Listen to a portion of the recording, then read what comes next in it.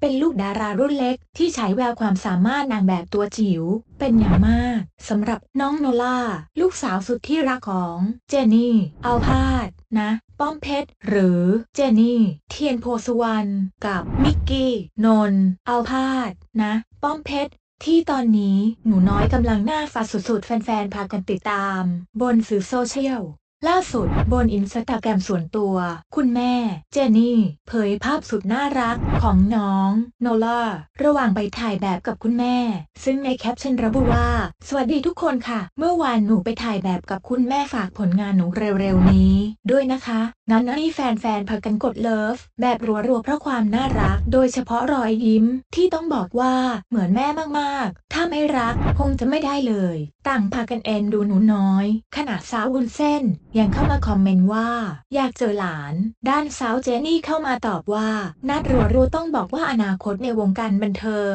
สดใสแน่นอน น้องโนล่าขา